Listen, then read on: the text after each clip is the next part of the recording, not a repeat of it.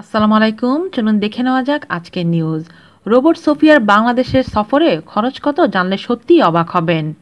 এবারে ডিজিটাল ওয়ার্ল্ডের প্রধান আকর্ষণ ছিল সিঙ্গাপুরে তৈরি ও সৌদি আরবের নাগরিকত্ব পাওয়া কৃত্রিম বুদ্ধিমত্তা সম্পন্ন রোবট সোফিয়া। মঙ্গলবার ভোরে ঢাকায় পৌঁছায় সোফিয়া এবং এর নির্মাতা ডেভিড হ্যানসন। এদিন বেলা আড়াইটায় টেকটক উইথ সোফিয়া শীর্ষক একটি অনুষ্ঠানে অংশ নিয়ে বুধবার ভোর রাতে সিঙ্গাপুরের উদ্দেশ্যে ঢাকা ছাড়ে সোফিয়া।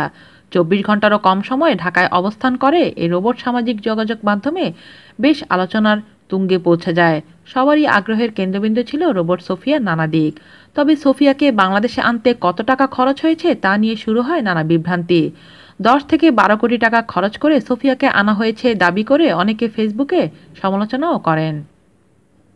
এ বিষয়ে তথ্য ও যোগাযোগ প্রযুক্তি বিভাগের জনসংযোগ কর্মকর্তা আবু নাসের বলেন, ডিজিটাল বাংলাদেশের অগ্রযাত্রাকে যারা যারা বাধাগ্রস্ত করতে চায়, তারা বিষয়টি নিয়ে উদ্দেশ্য প্রণোদিতভাবে নানা রকম প্রোপাগান্ডা ছাড়াচ্ছে।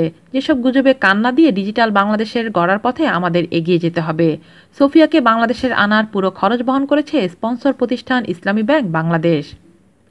এই প্রসঙ্গে ইসলামী ব্যাংকের চেয়ারম্যান আরাস্তা খান বলেন, ইসলামী ব্যাংক সবসময় বিজ্ঞান ও আধুনিক প্রযুক্তি শিক্ষায় গুরুত্ব দিয়ে থাকে।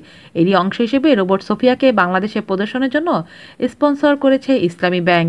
এই রোবটকে দেখতে ডিজিটাল ওয়ার্ল্ডে কয়েক হাজার শিক্ষার্থী এসেছিল। তারা উৎসাহ পেয়েছে। আধুনিক প্রযুক্তির ও বিজ্ঞান বিষয়ে অনেক ধারণা নিয়েছে। এটাই আমাদের সার্থকতা।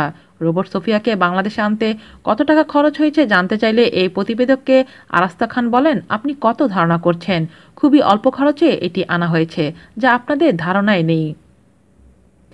সুনির্দিষ্ট কোনো অর্থের পরিমাণ না জানিয়ে তিনি বলেন, রোবট সোফিয়ার পেছনে এক কোটিরও কম টাকা খরচ হয়েছে। তবে নাম প্রকাশে অনিচ্ছুক ব্যাংকের এক কর্মকর্তা জানান, রোবট সোফিয়াকে বাংলাদেশে আনার পেছনে প্রায় নব্বই লাখ টাকা খরচ হয়েছে।